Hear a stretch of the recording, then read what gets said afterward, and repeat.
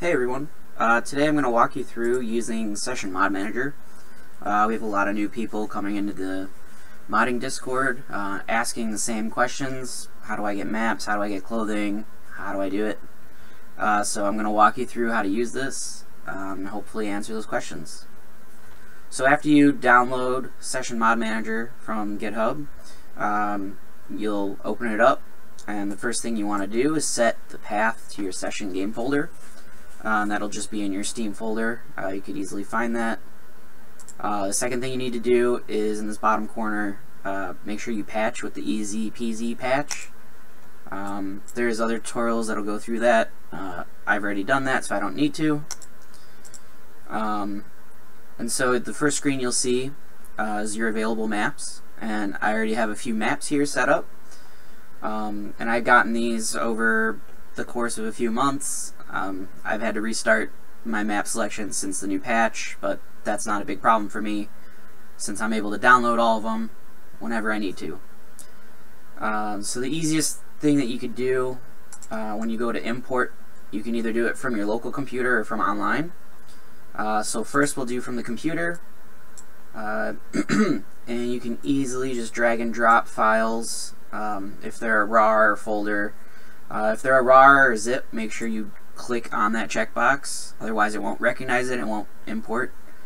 Um, you could also click the file browser and search for your files that way. I think it just takes a little bit longer. Um, so if we hit import, it'll take a little bit, um, but it should give you a confirmation message when it is done. Uh, so we'll just wait for that for a little bit.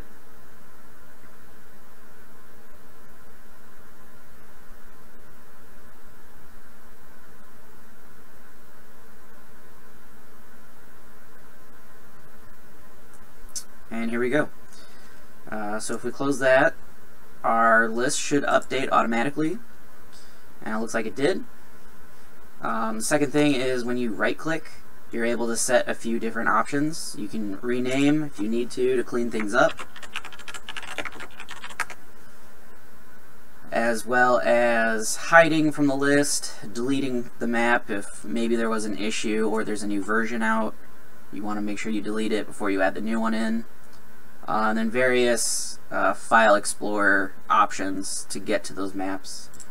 Um, also, you're able to set a second map uh, to load, and so the first map will load from this list when you start the game, and then the second map will load after you go to your apartment, like if you're doing some customization options or you're checking out a montage, whatever, and you load back in um, whatever this second map is and it'll set to that map. So you would just simply right click and then click that first option, set as second map. And you'll see down here that it's updated. So my first map is Brooklyn Banks, and then after I go to apartment and come back, I'll go to Clifton Hill. Um, the second way you can get maps is from the asset store. Um, and you can either do from online or you could just simply click over to the asset store um, and as soon as you open the asset store, you're going to be overwhelmed with options because the categories will be on all. Um, so if you're looking for specifics like just maps, decks, whatever, clothing, shoes, uh, you can filter those individually. Um, so I'm just going to go in here and grab a do long tour. Uh, Dew Tour. I don't know why I said that. We'll hit install map. It'll give you a little progress bar. And then a confirmation message when it is all done. Boom. We'll go back to the main menu and it looks like it added it right away. And again, you can do the same stuff. You can set it as the second map or the first map. Um, so once you're ready to play your map, select it, go over to load map, and hit start session. Uh, so our first map is Dew and the second map is Clifton Hill. I'm actually going to set the second map to Braille House because it's a lot smaller. Um, I won't have to wait for it to load. So let's see how this loads up.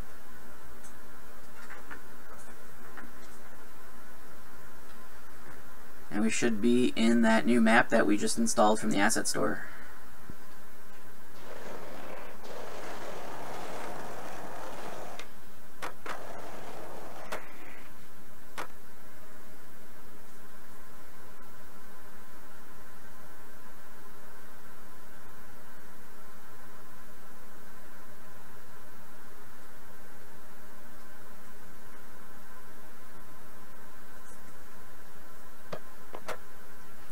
And as you can see, we are loaded up into our second map.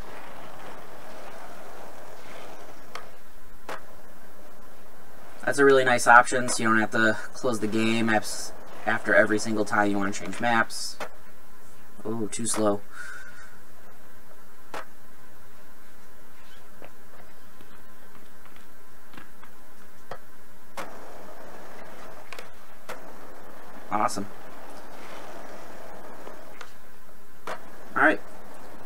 Next I'll go over custom clothing. I'm sure you saw a weird ass hat in there. Don't worry about that. Um, again, first thing that we can do is uh, local adding of clothing.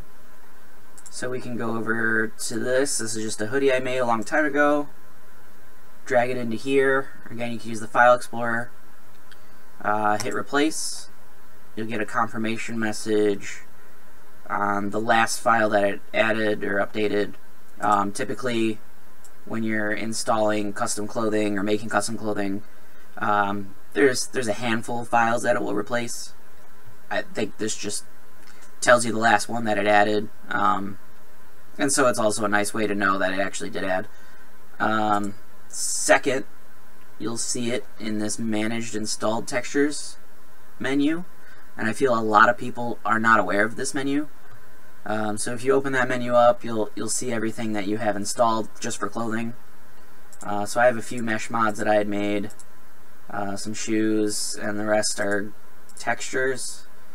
Uh, so here's that local file that we added. I'm gonna actually remove that dumb hat. And then we'll just do load map again, start session, and then when we go to the apartment, we'll be able to find that clothing that we just added.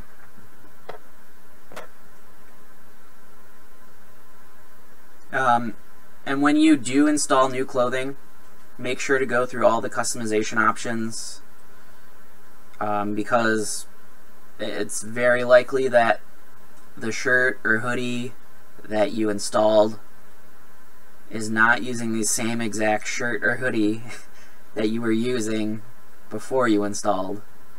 So here we go. So this is the, the Braille hoodie. It replaced the black hoodie. Um, that's just the way that the modding for it happened. I could have easily replaced the orange, the blue, anything. Um, it's just whatever is easiest. So if we go back and skate, You'll see we got that hoodie set up.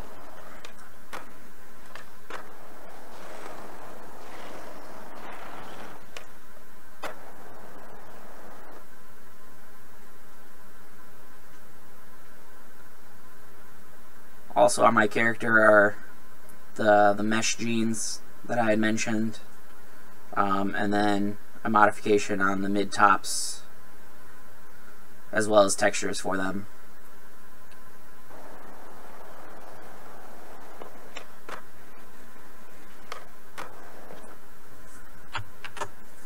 Uh, the second way to get clothing is if we go back to our asset store. Um, you can switch to all of your skateboard options if you want to add anything for that.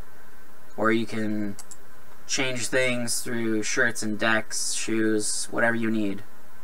Um, and a few things to note when you're playing around with downloading these options. Um, I recommend that you turn off fetch all preview images. Um, that way you're not downloading every single asset store image when you open up the app.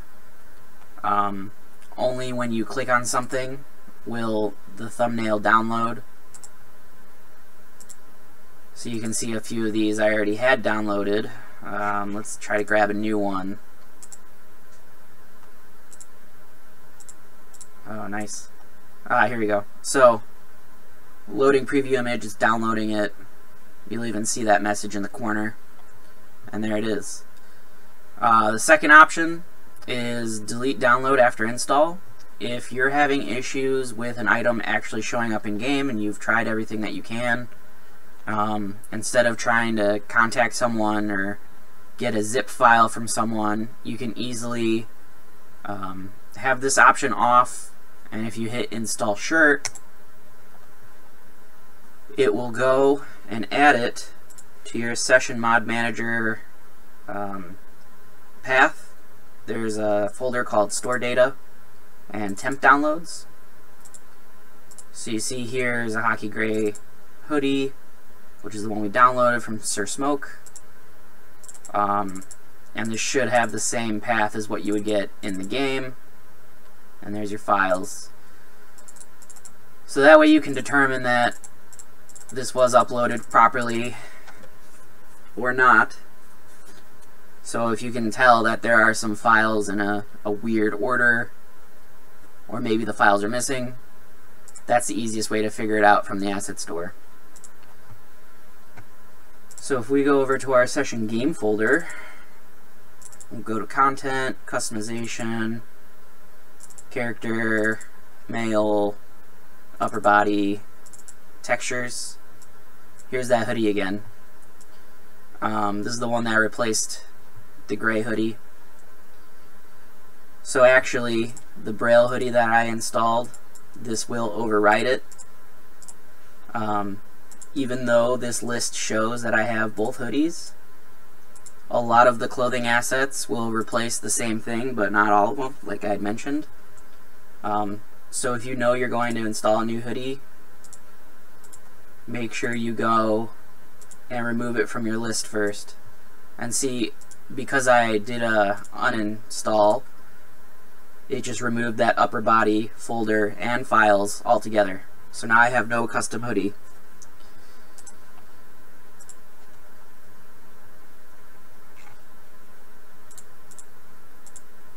And you'll also see that remove shirt is now gone as an option. I got some slow loading, that's my bad. Um, so yeah, when you know you have something installed,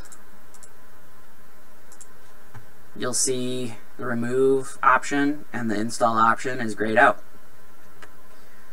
So other than that, um, every time you come into a new section, and let's say something like this happens, uh, just because there's been an update to that section over the last few days or the last time you checked it, uh, you can easily just hit force refresh assets and it will fetch the JSON for all of the items in that list.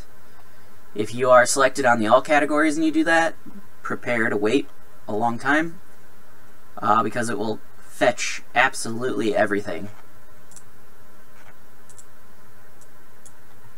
And I just like to sort by update date. That way I can see what all the new stuff is that's come out since the last time I opened it. And again, easily install. And like I covered earlier, you can always go back to the main menu, hit Manage Install Textures, see everything that you have installed for your character. It's always a good idea to recap. Um, remove something that you think might override something else. So these shoes, this is a custom mesh and texture, uh, and these replace the the Volk A shoes for the male and the female.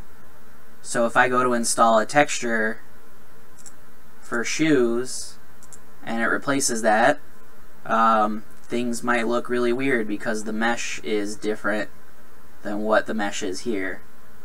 Uh, so a quick example of that would be these checkered bands. Uh, the, ma the material and the texture might look really weird on a custom shoe. so it's, it's a good thing to know. Um, so yeah, hopefully that answers a lot of your questions. Um, and good luck, and have fun modding.